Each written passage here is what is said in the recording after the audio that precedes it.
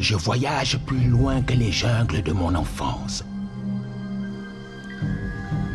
Plus loin que l'imagination.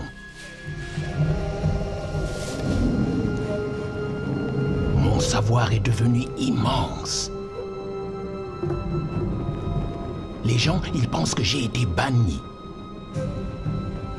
Chassé jusqu'à la fin de mes jours.